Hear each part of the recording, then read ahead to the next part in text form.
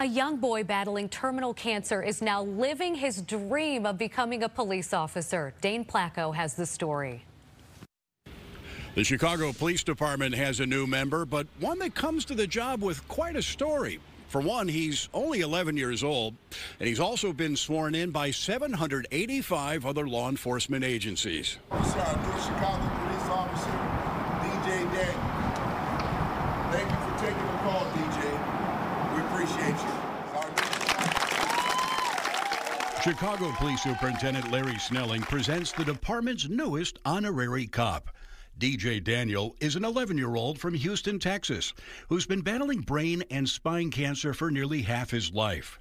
At six years old, he was diagnosed with terminal brain cancer, but has lived another five years and dealt with 13 operations. In 2017, he and his family were displaced by Hurricane Harvey when some police officers helped them by buying pizza.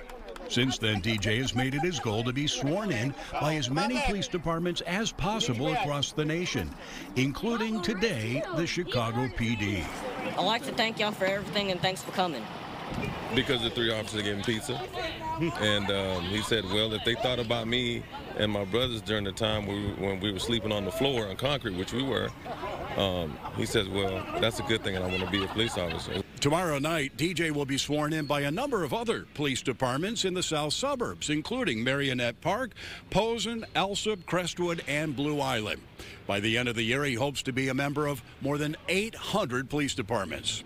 At Chicago Police Headquarters, Dane Placko, Fox 32 Chicago.